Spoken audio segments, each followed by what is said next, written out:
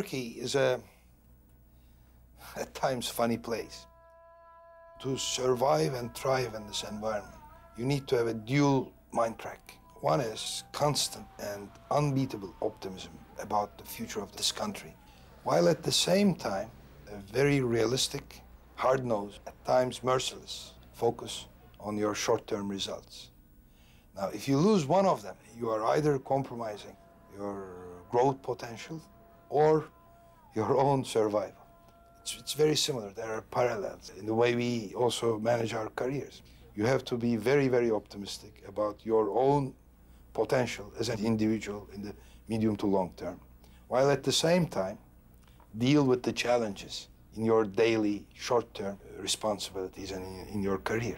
In a volatile marketplace that is constantly challenging, Pfizer Turkey has a unique approach to assure its future in the way it develops its greatest asset, its people. First of all, you have to recruit the best person available. The best person available. Not for the job, but for the jobs that will take place in years to come. With this approach, development is a collaborative process. We were assessing Tulpar, and the people in the room were people that were working very close to him. I was there because I was one of his managers in a strategic planning department. Tulpar's previous bosses were there. The other person was a facilitator from HR, and one other person to help the facilitating process. In a more traditional organization, uh, a manager would be very unwilling and sometimes would feel very insecure about having a group discussion about the potential of one of his employees. But our feeling has been that misses some very important dimensions of number one, understanding where the people are, and even more importantly, how can you develop them. We discussed Tulpar's strategic way of thinking, his analytical skills, his interpersonal skills with peers and bosses and his way of presenting ideas and we get to a conclusion together and there's a career path written there Tulpar's a PSR right now but he can be a business unit manager in the future Meetings like this to develop careers are part of the reason Pfizer Turkey has become a high-performance business unit. Its unusual leadership development model builds for the future by allowing people the opportunity to work in different positions. But the process does not start with the job. It begins with the employee. You have to recruit the quality of people that will adapt to jobs that you cannot dream of. I returned from the States in 1995 after I got my MBA in international business and international law. I was applying for a finance position back then, thinking of mostly Procter & Gamble and Unilever. But I had a couple friends in Pfizer, and they told me that it was a great company to work for. So I took Pfizer's offer and turned down the other two and um, so I started off as a management trainee in the finance department. I was helping the product managers decide on what kind of a promotional material to give to physicians, and I had no idea what the field reps were actually doing with their promotional materials. Tulpar had come to a turning point in his development, one that involved his manager as well. As a manager, either decide to keep the person there and let him perform whatever he's doing in a very good way, or take the risk of putting that individual in a job in which maybe he or she will not perform as well as she has been doing in the previous job. We take those risks so that people can reach their full potential. The choice for Tulpar would be to stay in marketing or move to sales.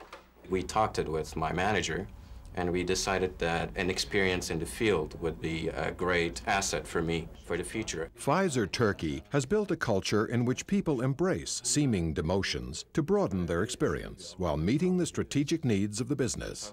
The foundation of this culture is based on an enlightened concept of development pioneered by Alev Sonat. You can develop people in two ways. One is the Darwinian method. It is not a good thing because the fittest survive. At that with that approach becomes very arrogant. So you have to find another solution to that. And uh, to do that, you have to give people a chance to see various aspects of the business. Tulpar started in the finance department, moved to marketing, and is now a pharmaceutical sales representative. While he will gather valuable experience in the field, he knows that he has to perform well in his sales position to advance. When anybody, any future leader in the company, be it from finance, be it from technical division, be it from marketing, be it from medical, when they go and take a sales representative job, mainly for developmental reasons, they know that they have burned their ships. They have to be an extremely successful rep. But that's at your own risk. Nobody can promise you that you will jump onto a higher position after a certain while. Nobody can guarantee something like that.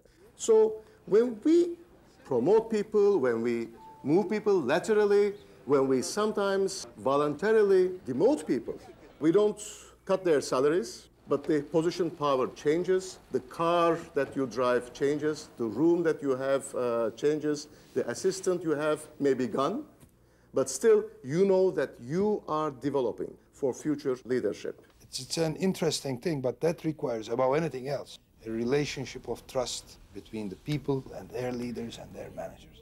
To be able to tell someone, we believe in your potential as a leader of this company in the future, but in order to get there, you need to give up the status symbols that come along with it or the role that you have currently. We want you to come down one level or two levels sometimes so that you can go three levels up. With seven years of experience in finance, Ahmet Genel was promoted to controller. After two years in this position, he asked himself a question. What am I going to be here? What are the options that I can try if my age allows me to take risks and challenges? Ahmet came to me and he said uh, he wants to be uh, in the marketing. And when I told him that he should start with the uh, PSR's job, he gladly accepted that. A lot of friends of mine uh, have said to me that you are crazy. You know, you are, after all, you are the controller of this company. You must be crazy. You, you left that job. Why? I mean, are you crazy? He became a PSR and then a district manager, then a product manager. Now he's a business manager.